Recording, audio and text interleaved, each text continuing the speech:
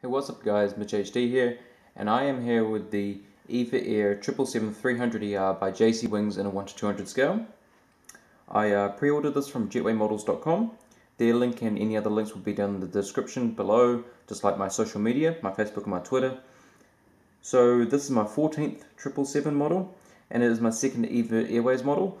I have the same model but made by Phoenix but I prefer this one a lot better. I will do a comparison uh, JC Wings and Gemini Jets versus Phoenix. Uh, and I'll use this model and the same one from Phoenix to compare it, um, show you like livery details, how different the liveries are, and um, but mainly the aircraft details like the wheels, the engines, and all that kind of stuff. So, uh, Eva Air is uh, the name is de derived from its parent company, Evergreen Airways, which is part of the shipping conglomerate Evergreen Group. The operations base is out of Luzhu, Taoyuan City in Taiwan. Their main hub is Taiwan Taoyuan International Airport. The secondary hubs include Kaohsiung International Airport and Suvarnabhumi Airport in Bangkok. Sorry if I pronounced that wrong. Uh, they were founded on March 1989 and since then they are known as the world's third safest airline and have had no incidents. Their fleet consists of 62 aircraft as of 13 May 2015. 19 of those are 777-300ERs with 9 more on order. They have 73 mainline destinations and their 777s fly to North America, other parts of Asia and Europe.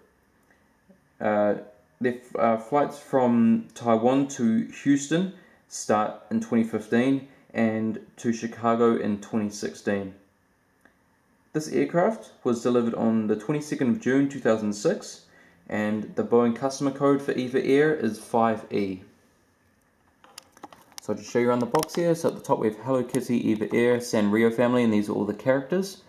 And you see a 2D picture of the model right there. EVA Air Boeing 777-300ER, scale 1 to 200 and then you see the Evergreen logo which is their parent company which is uh, how EVA Air's logo came about.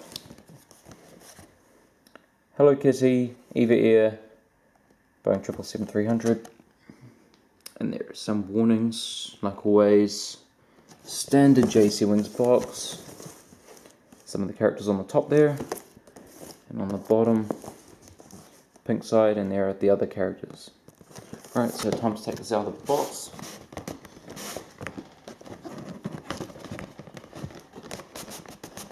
A little difficult to get out this one.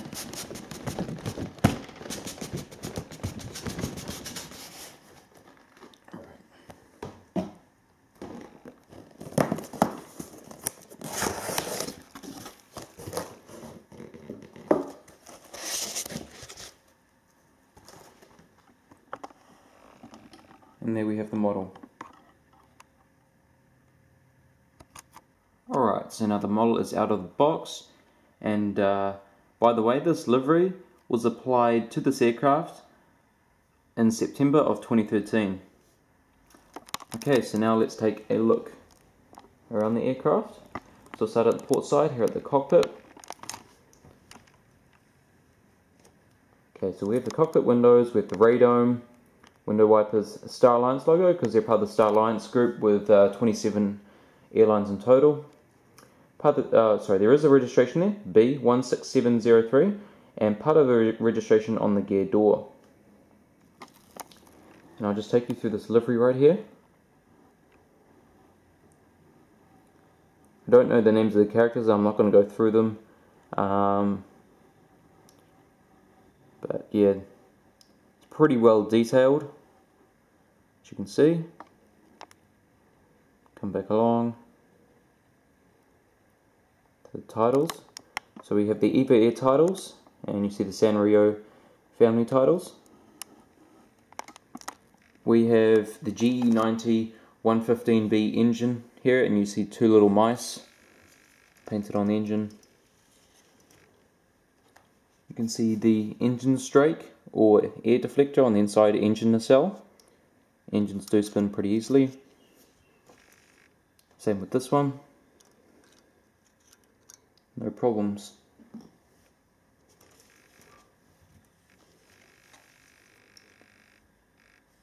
Alright, so we'll continue along the leading edge of the wing. You see the navigation light there, and the strobe at the end of the raked wingtip. Continue along the fuselage, Boeing 777-300ER, registration B16703 or Bravo 16703. And then there is the EVA Air logo and the same logo of the parent company, Evergreen, uh, Evergreen Group. Now we'll take a look at the APU.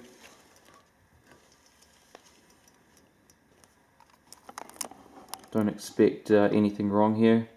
Perfect strobe light, exhaust, very well finished as always. Now we'll take a look on the starboard side. Cockpit windows, radome, registration Star Alliance logo, part, part of the registration on the gear, door. There's the, um, you can't see it, right on that pink mouse. There is a cargo container door. Delivery is, I think, just a reflection onto this side. EVA air titles, Sanrio family, the massive GE90 engines, and you can also see, same as on the other side, the inboard landing light.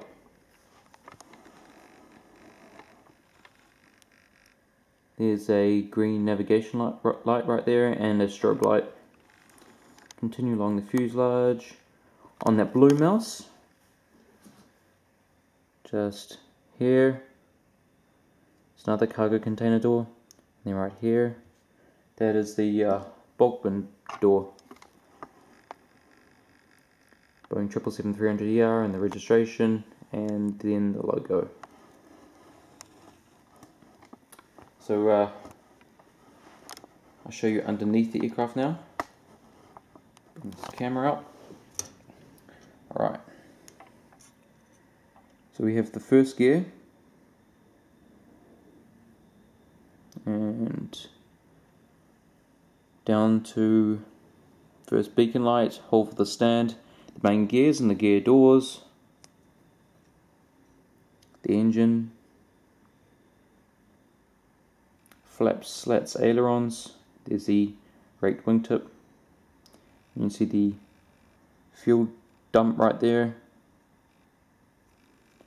and on this wing, basically the same but with the registration. Right and we continue down. It's one antenna two antennas. It's a little hump there for when there's a tail strike and uh, access to the APU now we have a look on top. You see emergency escape hatches on the top. Beacon light oh sorry uh, anti-collision light. Another escape hatch antenna Another escape hatch and those two black dots there, those are ADF antennas. Overwing exit, flap slats, ailerons and spoilers. Down to the right wingtip. You can see the the nose step writing. So that's very cool. And on the side, the same.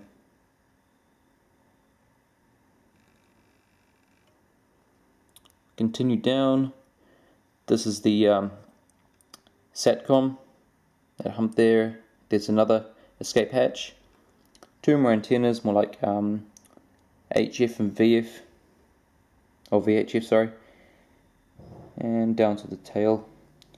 See those two grey dots there on each side of the horizontal stabilizer? Those are the uh, logo lights that light up the tail at night time. Alright, so I'll just run through the seating of the Seacraft. Okay. So there are three versions of the Seacraft. I'll quickly go through them. So Royal Laurel, which is like the first class, 38 flatbed seats um, from rows 1 to 3, then 5 to 6, then 8 to 11. So here until probably about here somewhere. Uh, and then there is Elite 64 recliner seats from rows 20 to 27 here to about here.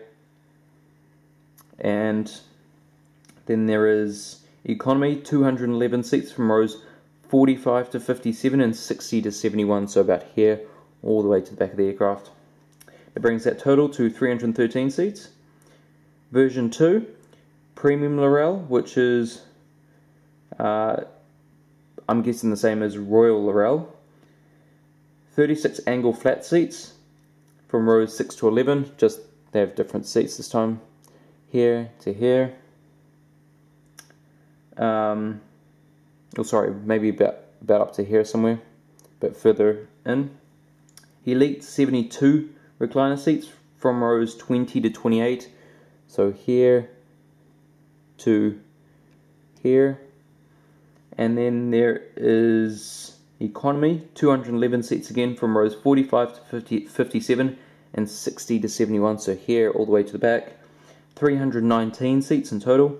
Then the last version is Royal Laurel again, 39 flatbed seats from rows 1 to 11, so here uh, to, to I'm guessing here, like last, like version 1, and Elite 56 recliner seats from rows 20 to 26, here to here and then there's economy, 238 seats from rows 45 to 57 and 60 to 73. That goes all the way to the back of the aircraft from rows, uh, sorry, I've already mentioned the rows, I mean a total of 333 seats. Alright, so just get into some of the features before I put this on the stand and show you guys the stand. So, this aircraft has rolling wheels, like always, steerable nose gear, as you can see here, engine spin like I showed you before, the wheels, a tilt,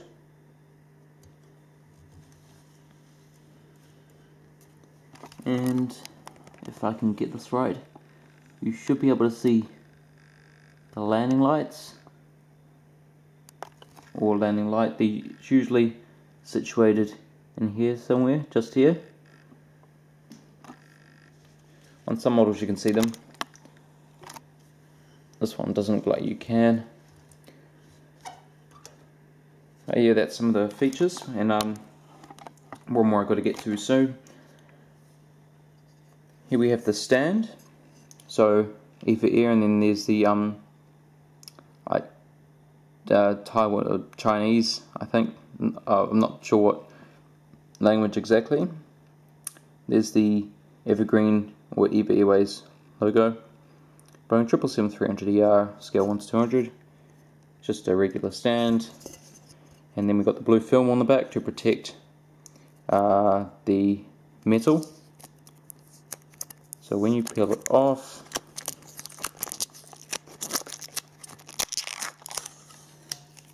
and once I get rid of the fingerprints, which I won't do now, um, you'll get a nice shiny back. And there's padding on top of the stand to protect the model underneath so it doesn't get scratched. And that should there we go just sits in there like that.